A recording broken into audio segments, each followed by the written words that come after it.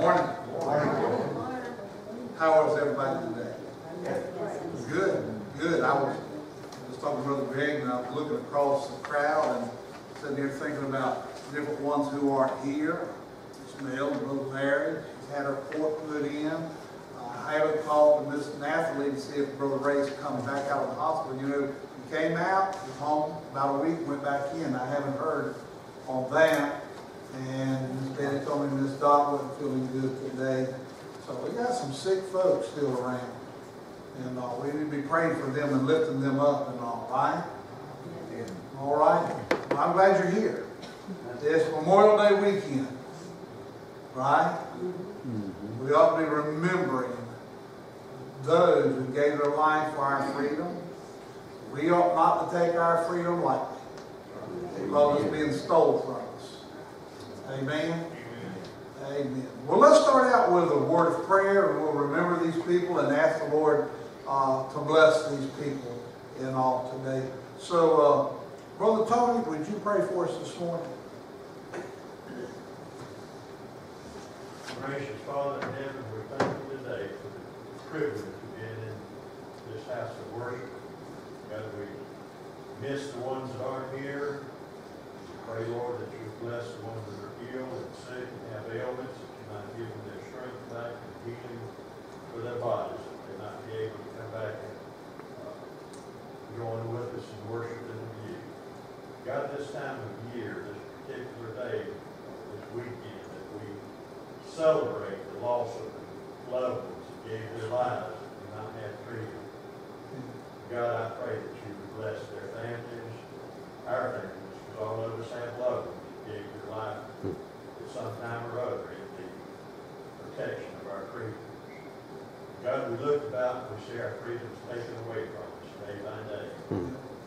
Our leaders seem to be using the tragic incident, tragic disease, uh, just slip in and take more and more of our freedoms away. God, I pray that you not allow this to happen, that you give us leaders that would look upon mankind's true freedom, which comes from you. God, I pray that you would be with us today now, that you bless our services, bless bless Brother Lee as he leads us. Give us a good day today and a good day tomorrow. These things will give you the praise. In Jesus' name. Amen. Amen. Amen. Well, today is another special day. and uh, Since I'm not good at leading music, I just want to tell you this, and y'all can tell them something later. Today's Brother Greg's birthday. So when y'all get a chance, hug his neck, shake his hand, wave at him, whatever you feel comfortable, but make sure you tell him, happy birthday, right? What did you tell me, he was, was it twenty-nine or thirty-nine? Or thirty-nine years old today. He looks it, but he lies.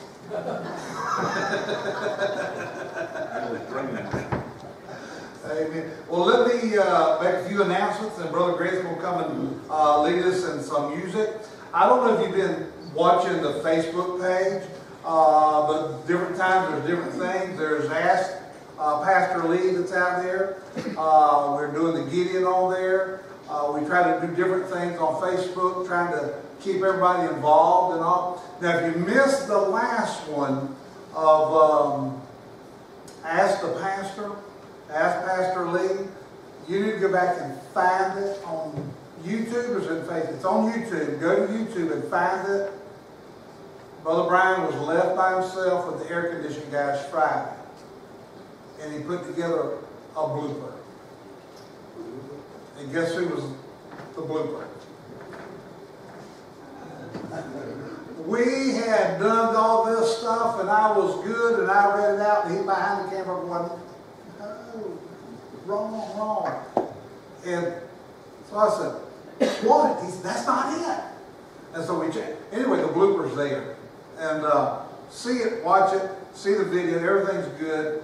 But ask pastors there, we've got it on personal um, uh, gmail.com address, so you can send in Bible, Bible things for that. And we've been having people outside our churches sending them in, and we try to do ten minutes or so answering the question. It's only for Bible stuff. So if you got something you'd like to submit, do that, and uh, we'll answer them as soon as we can. And uh, next Sunday morning, next Sunday morning is Lord's Supper. So in our morning service, we'll be observing the Lord's Supper.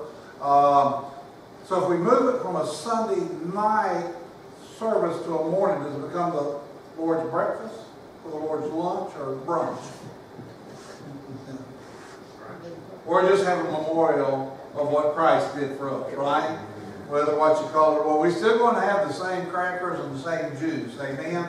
So we want to remind you of all that that's coming up and going on with that. Well, are you ready to sing today? You come with a heart to worship. I hope you have. Uh, so, uh, Brother Greg's going to come up here, watching the screen. He'll have our music right up there. So, uh, come on, Brother Greg. Maybe I should say, come on, birthday boy.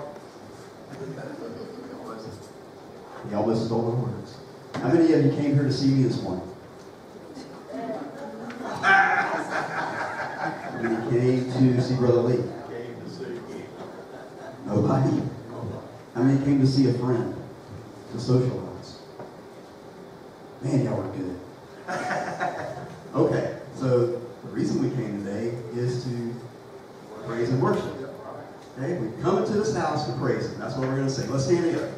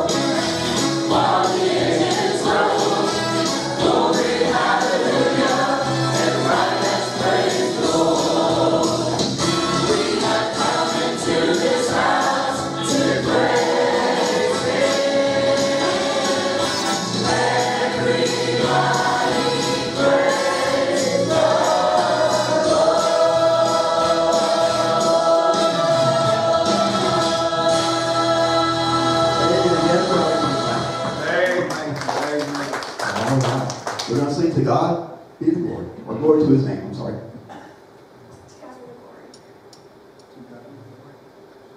Glory to, glory to his name.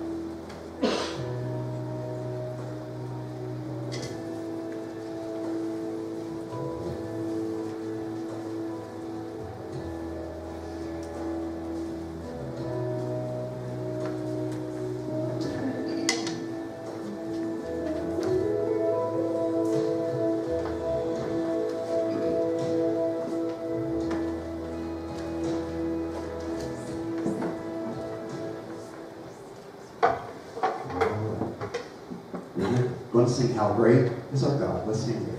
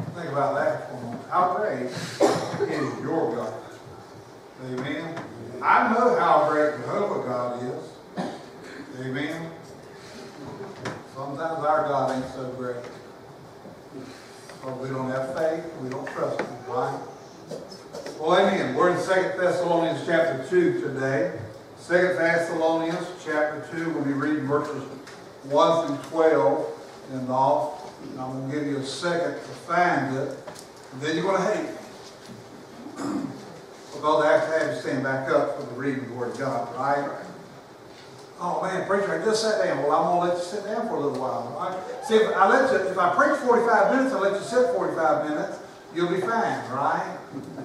All right, when you find 2 Thessalonians chapter 2, stand to honor the reading.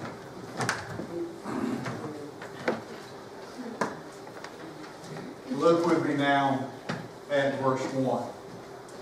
Now we beseech you, brethren, by the coming of our Lord Jesus Christ, and by our gathering together unto him, the rapture.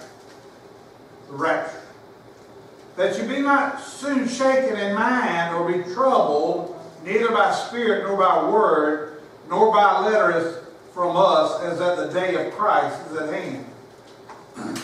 Let, me, let no man deceive you by any means.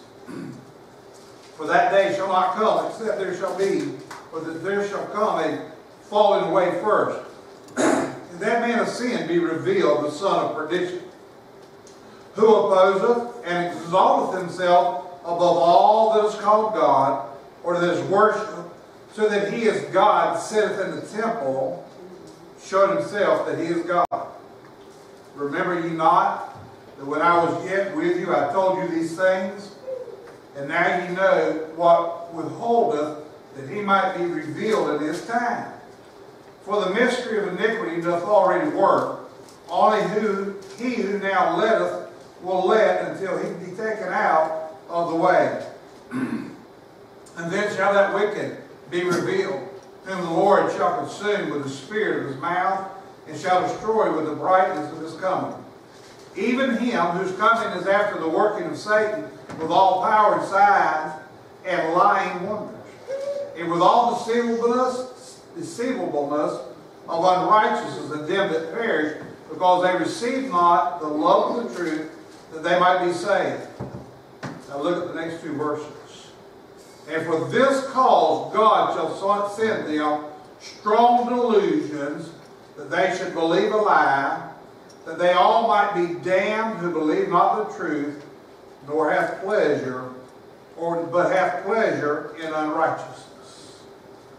Let's pray. Father, thank you for today. Lord, thank you for those that are here. Lord, I ask you, God, to help me today. help me with my throat so that I can speak today and bring the message. I pray, Father God, that you would bless our hearts and our ears that we can hear and understand what the Holy Spirit has for us. So God, now during the preaching of your word, anoint this place. Have your way, Lord. In Christ's name, amen. And thank you. You may be seated. I don't know what's happened to voice that just started when we were singing. Uh, y'all know me, it's usually A-OK, right? But uh, it's, it's uh, not been so good. If y'all give me a minute, Brother Greg has kindly brought me a voice fixer. Okay, so we'll take a swallow of this and then I'll get into the message.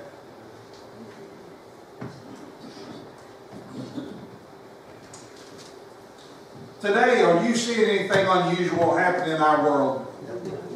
Boy, am I. And I see some crazy stuff going on in our world today. Um, if you told me when I was a kid this kind of stuff would be going on, I'd say, nah, nah, that don't sound right. That don't seem to be right and all. Now, think about this woman. Here's what I see really unusual. Who would ever thought that a virus, one that can be killed by drinking warm water, washing your hands, could shut down the world? Right? I mean, isn't that what's happened? It's basically shut down the world. uh, this coronavirus that they're talking about, uh, and I think about it. America, a people of great strength. You stop and think about the people who cut out America, who did what they did, who's fought and all. People that have stood against other nations. They've not backed down from a fight. They've not been scared. They were strong people. Terrorists. I think about when they attacked the Twin Towers. Guess what? They couldn't sign up the people that came down there. So many people came to volunteer. They said they're not going to do this. This isn't going to happen. We're not going to allow it. We're going to take the war to them. And we had people that were brave, strong, that weren't afraid of anything. And yet, we got a virus that you wash your hands and get rid of it that we're scared of. Now, I'm not saying this virus isn't real. I'm not saying that things have happened. But can I tell you, there's not no more happening with this virus than what's happening with the flu in the past. Amen.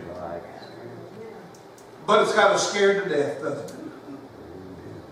It's got us shut in our homes. It's got our country shut down. It's destroyed the stock market. It's done all kind of things, hasn't it?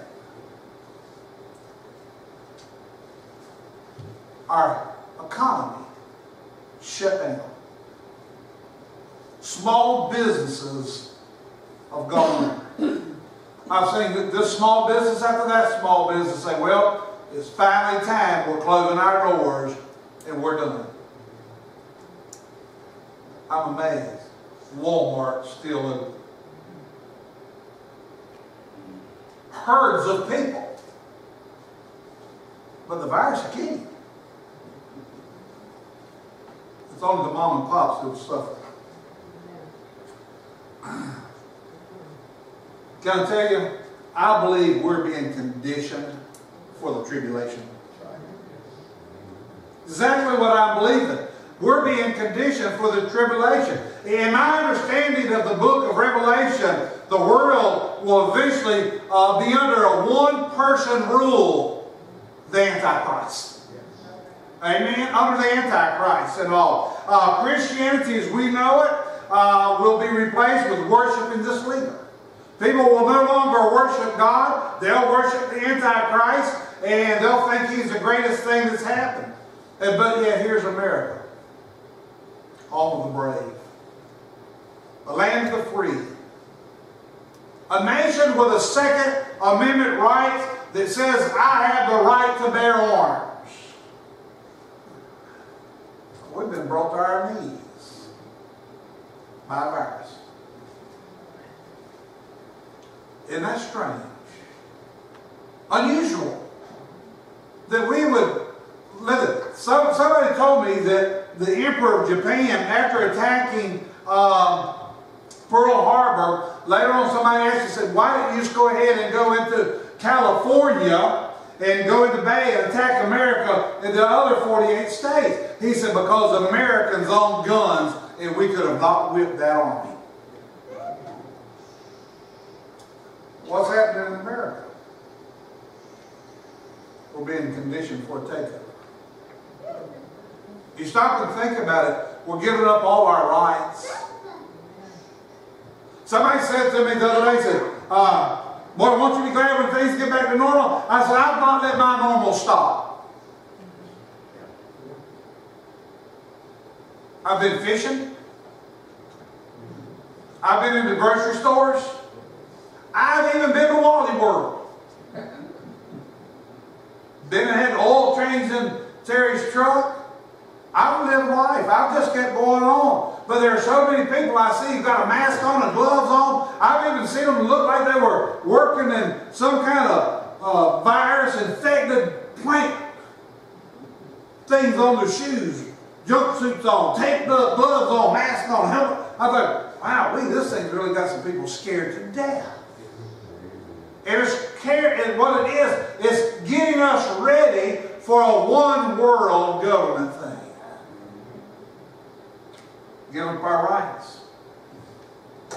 You know what we've got to be is conditioned for things to happen. Have you ever noticed that? And, we are being conditioned. And now I want to make sure you understand conditioning. So I got the uh, uh, definition right here, and I want to read it to you. Listen to this. This is what conditioning is. The process of training or accustoming, accustoming a person or animal to behave in a certain way or to accept certain circumstances. I got me another German Shepherd uh, here a few months back. She's now five months old. And I will go to the dining room table and I've got a handful of milk bone biscuits, you know, up there. And I'll sit there and Coco, our uh, almost five-year-old shepherd's here. My five-month-old shepherd Harley's here. I'll tell them, I'll get them in there, I'll say, sit down, and they'll sit down, I'll give them one. Then I'll take a milk bone, and I will take and uh, say, all right, lay down, and guess what they do? They lay down. And I'll say, all right, shake hands, and they shake. You know what I'm doing? I'm conditioning my dogs. You know what's happening in our country? We're being conditioned. Have you thought about that yet? We're going through all this and, all. And uh, what I'm trying to show you is we're going through something we've never been before, and it's getting this world ready for the tribulation period that's got to come. Let me give you a little bit of history and show you some conditioning. 2008, Barack Obama became president, right? President of the United States. You remember his campaign? He ran on the theme of change. Can I change that word to conditioning? Because that's what he was doing, and he worked the young people. And he did condition them for a new world, for a new way and all. Now, one of his changes, one of his conditioning was medical insurance. Huh? Oh, you have to have insurance or you'll get fined. And every year you don't have insurance, it goes up. The fine does. You see the conditioning? You see it? And by the way, what always amazes me about this Obamacare is you still don't have any insurance, but you're paying a fine in your taxes every year. And they're taking that money and giving it to somebody who won't work so they can have insurance. And they're conditioning them, they say they can have free insurance, and they're conditioning us to get ready to go to jail.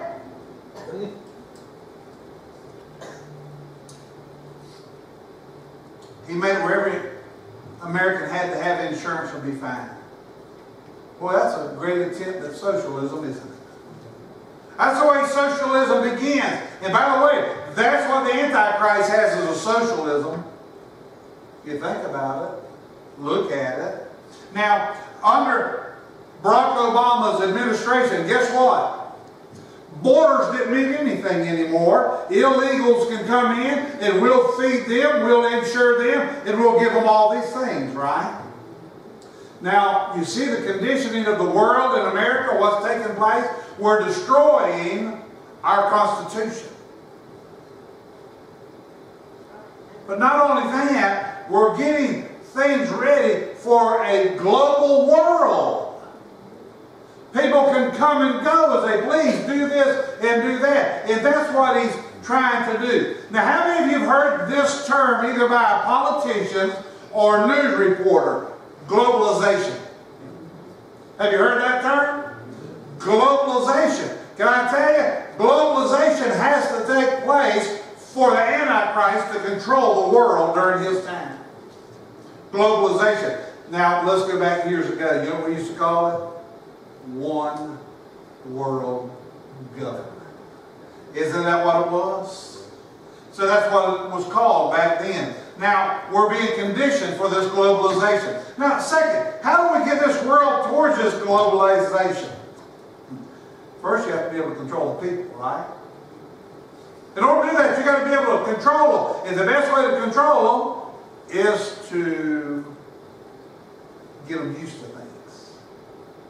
Train them, right? Get them prepared for these things.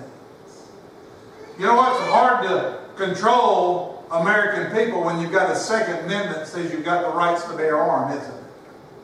It's hard to control them. But let's see. Let's get rid of that Second Amendment.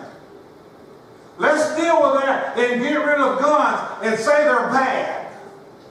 Oh, guns are bad. They're terrible. They're horrible. And you know, I'm amazed at that because I've got a pistol in my nightstand and it stays there until I pick it up. There's never another.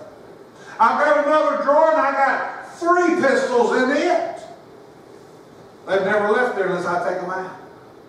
Then I go to my gun safe and I've got hunting rifle, shotgun, this, that, and the other in there, and ammo. And can I tell you, none of them have ever moved from that place. But if you'll listen to the globalizationers, guns are bad. They're horrible. We've got to get rid of this. So we've got to show that uh, guns are dangerous in the hands of civilians. I stop and think about every country that gave up their guns and gave up their rights to own the government has been taken over and the people no longer have rights. You see how we got to break down people. You see how this globalization has to work and what's happened and so forth and what's been going on. Now the other thing is, not only do you have to take away the rights, you got to make them fearful, don't you? Have you ever seen more people fearful today than ever? Terry and I was out at the jetties. I think they, well, they call it Huguenot Park now. Uh, yesterday, and I was out there took surf rods. I wanted to go fishing. We were out trying to, and I'm amazed. I am so amazed. There's a guy out there waving with his cast net with his mask on. I looked at him and I saw him walking across there. I said, I said, you reckon the fish is going to give him the virus? You, reckon that he's going to get it from the salt water, the sun, or the salt? That how's he going to catch it? Ain't nobody around him. He's out trying to wait and get. You see the fear? You got people to be afraid. So here we've got a worldwide COVID-19 coronavirus. People are scared. But you go back to the terrace and the Twin Towers, were people scared then or did people come together and get ready for a fight? Today we're running from a virus. Back then, they were trying to run to a fight that they didn't know who they'd even fight. You see how we're being broken down by fear? And I want to tell you something. That fear has to be in the people's hearts so the Antichrist can control them. We're living in fear going outside because the media told us if you go outside, you'll get the virus. My precious dad, who will be 94 years old June the 6th. I was over one day at his house and he said, where are you going? I said, I got to go to work. He said, the news said don't go outside, you'll get the virus. I said, Daddy, I says, no. I said, first of all, you need to quit watching the news and just stick to football and baseball. I said, because you won't get all the lies. I said, don't watch that mess. It'll, it'll, it'll. He said, but they keep saying you can get this virus and it'll kill you if you go outside. I said, Daddy, they're talking about going into public places, this, that, and other. Said, but I ain't scared of that virus, Daddy. I said, I've had flu. I ain't scared of this virus. I'm not worried about it. I said, I'm not listening to them. I said, I think they're all lying anyway. But you see, the fear that comes into people's mind. And all, if I did a, a, a, a poll right now in here, some of you would have probably said, when it came out, I was scared to death of it. I was afraid of it. I was scared to do anything because what they said. And now you're shaking hands and hugging necks. Huh? But did they have you first? Did they not make you believe that it was horrible? And that's what they want. And they want to keep doing that, making you think that the government has conditioned us to fear and to do what they say. That's what they're doing. Can I tell you, I believe the American people have forgotten to think for themselves. I think we have forgot how to think for ourselves. And can I back it up another step and say, I believe Christians have forgotten how to think for themselves? Amen. Amen. I really do. I think we have got amnesia of what the Word of God has said to us, and we don't even remember what we knew.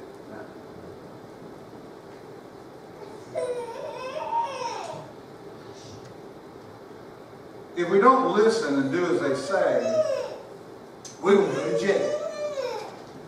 Why do you let hardened criminals out of jail because they're afraid of getting the coronavirus? I think put them all in the same cell block that's got it. Save a lot of tax dollars. Amen. But no, what we're going to do is put them on the street to do the same harm they used to do. Now, doesn't that sound like the devil's desires? But we're going to take that person that goes to church, who had a church house meeting, put them in jail, and make the pastor an example. All this is a part of the conditioning for the tribulation by the devil. He's working it. We're being made to fear our own government, aren't we? And yet those forefathers said the government doesn't have any power whatsoever. It's the we, the people. But we've changed it to we, the government. Let them control things and we'll be the fearful. Then here's another thing you got to do and condition them. You've got to make the people depend on the government. Boy, we've been doing that for a long time, haven't we? You know, I like Ronald Reagan. I don't know if y'all did. I liked it when he was governor in California. You know what he did? When he became governor over there, he said, I'm going to fix our welfare system. Do you know he ordered a uh, train box car of 20-inch push lawnmowers? And everybody that was physically able to work and collected um, welfare, he assigned them to a park and said, if you want to check, cut the grass. Smart man. Get them off depending on the government. But what's our government trying to do today? Isn't he trying to get us to depend on them? Close down your job, quit going to work, quit doing this, quit doing that. We've caused a shortage in food, we've caused a shortage in that, we've, we've caused the economy to fail. We're doing all these kind of things, and we're now going to take care of you. We're going to send you a $1,200 check.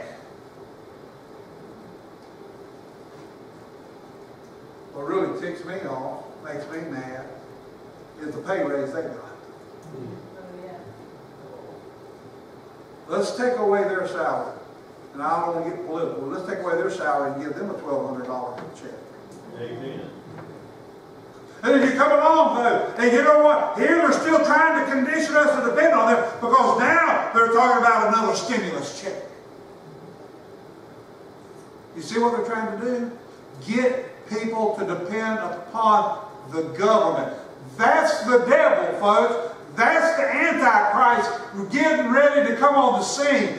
You've got to trust me. You've got to depend on me. I'll take care of you. And that's the lies of the devil. Amen. We're being conditioned. Told to stay home. Being conditioned for the tribulation. Why are we being conditioned? And what for? Why? Why, why is all this? Well, you think about it. It's preparing those people. Now you listen to me. It's preparing those people who will be here on earth after the rapture. Because see, the saved are gone.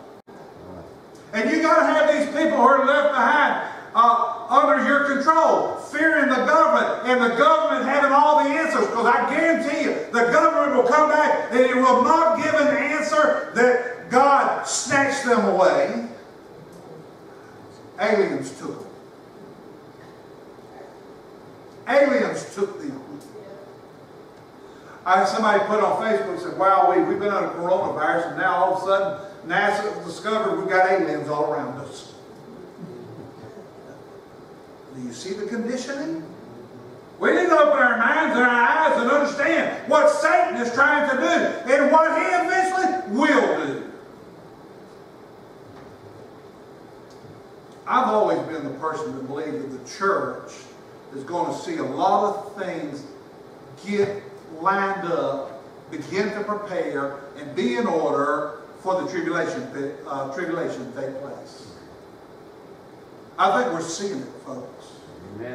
If we only open our eyes and read the Word of God, I believe we begin to see what the devil is doing and how we are being prepared for that. And yet, we've got people who claim they're saved, will not go to church, and they do not believe it. They live in the world, they live like the devil, they live in sin, and they think they're okay.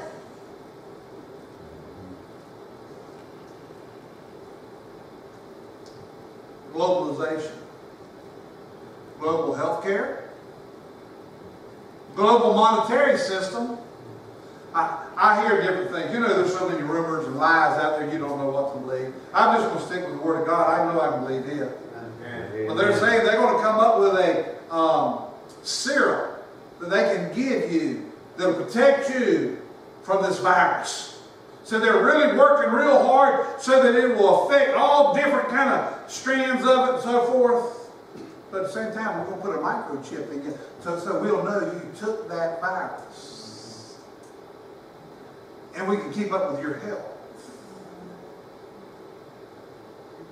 Somebody said, somebody wrote, wrote in one of the questions to ask the pastor, said, Brother Lee, uh, will a person who takes that microchip go to hell? Uh, no, because the mark of the beast is in the tribulation period, not this period. Amen. I'm going to tell you, I'm not worried about taking no virus shot or getting no microchip. I'm not worried about that. I think that's just another way of getting people prepared for the tribulation. A global monetary system. The economy's busted, right? One world leader. Oh, I got all the answers and I know how to take care of it. People have to be conditioned for these things to happen. Why is it all happening? I'm going to give you the answer. To fulfill the Word of God.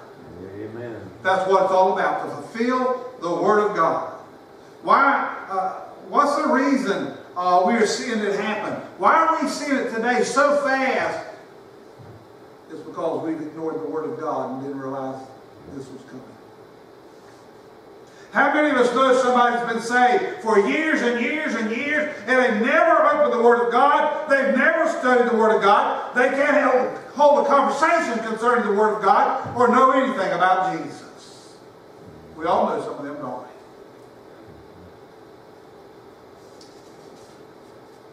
The reason we're seeing it happen so fast is because we've ignored that Word. Paul told this church at Thessalonica back in verse 3, there'd be a falling away. We've seen that. I mentioned that a few weeks ago. I talked about we're seeing the falling away from the church, aren't we? I mean, young people are leaving uh, Bible preaching churches left and right for entertainment centers. And some of them aren't even going to the entertainment centers. They're just walking away from God.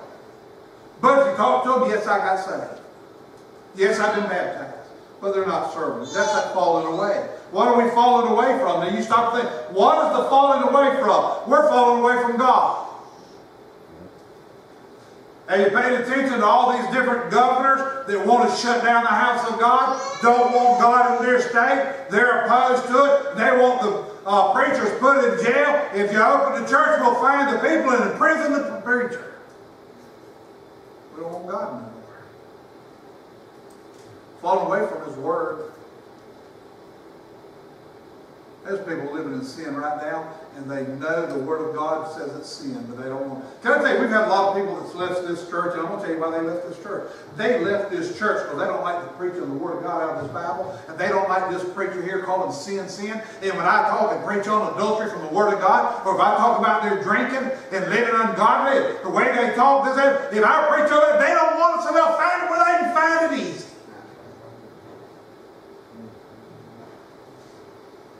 They don't want it. Falling away from this church.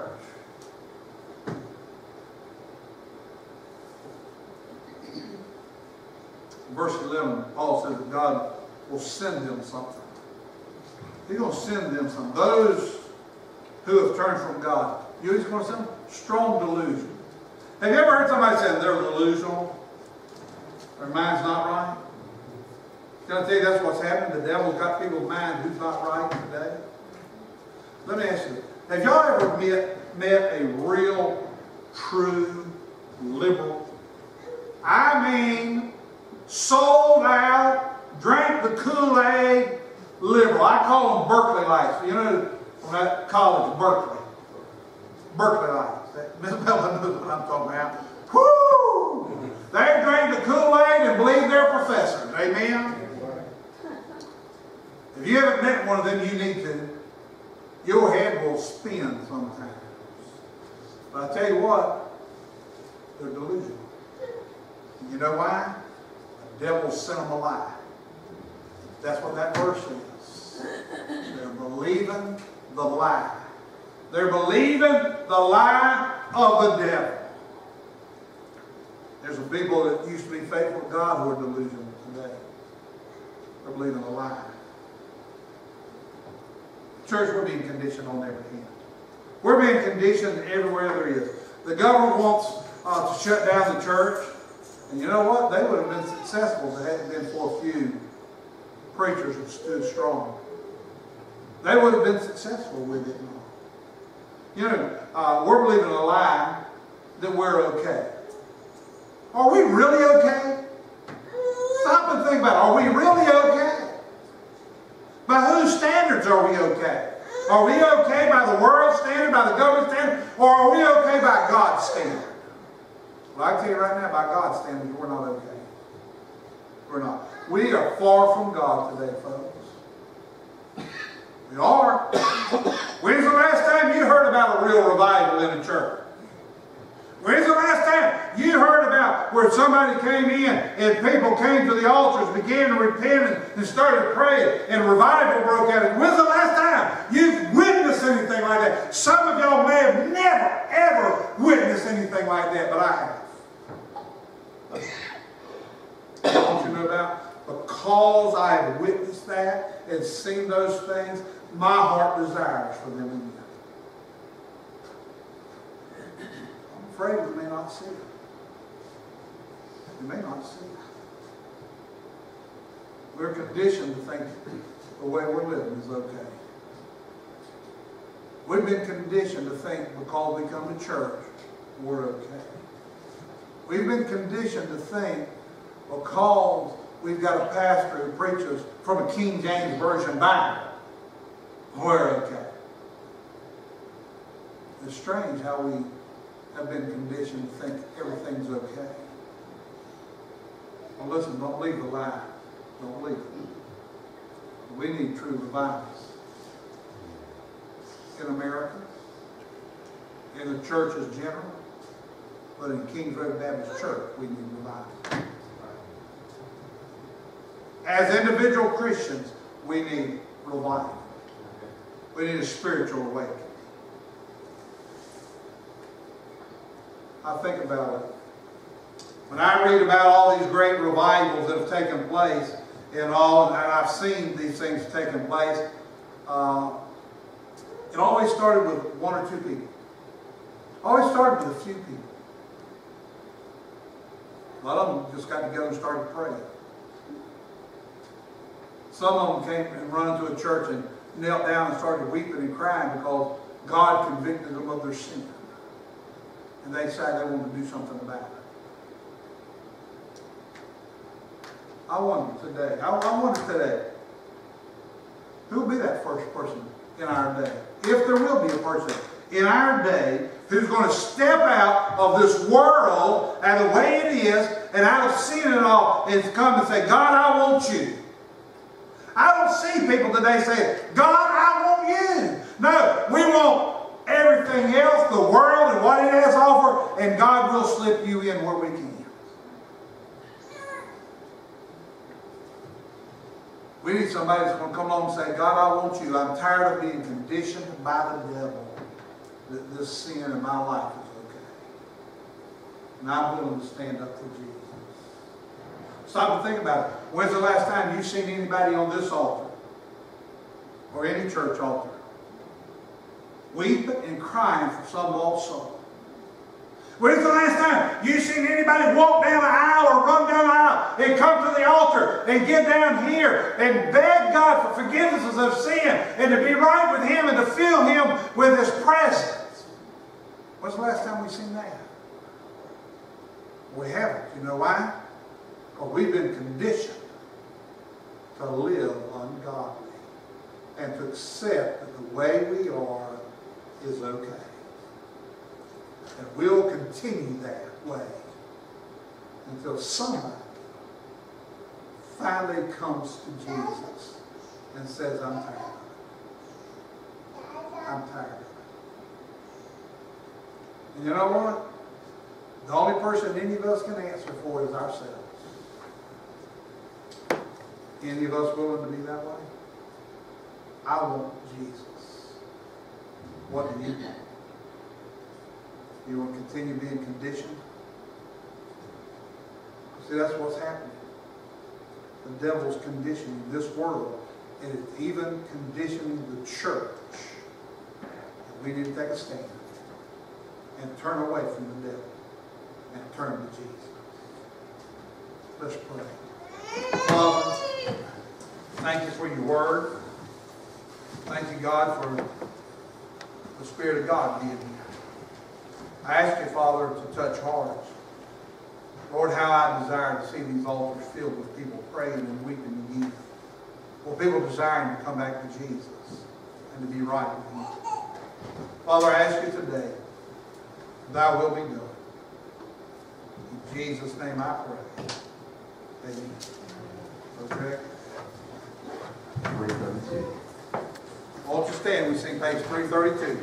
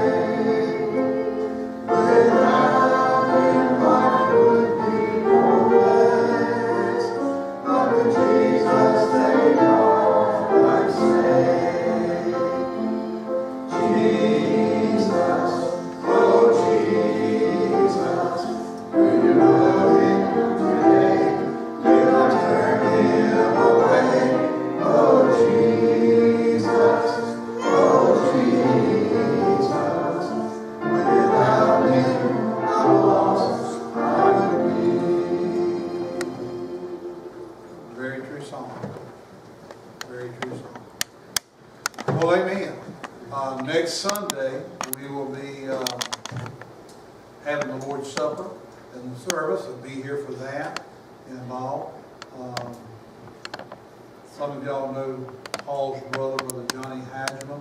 Pray for his family. Be praying for him. Um, his wife Elaine is with the Lord today. And this week's going to be tough on him. Uh, He's got services to deal with and so forth, so y'all lift him up in your prayers and be, try to encourage him, help him. Amen. I think uh, that's all I need to do, pray for others. We got people hospitalized and sick, this, that, and the other, up, pray for them. Well, amen. Well, let's have a word of prayer and uh, ask God's blessings. Uh, Brother Beal, pray for me, please. Thank you, Heavenly Father, for this day, Lord. Lord, Lord, please. Be with us as we home.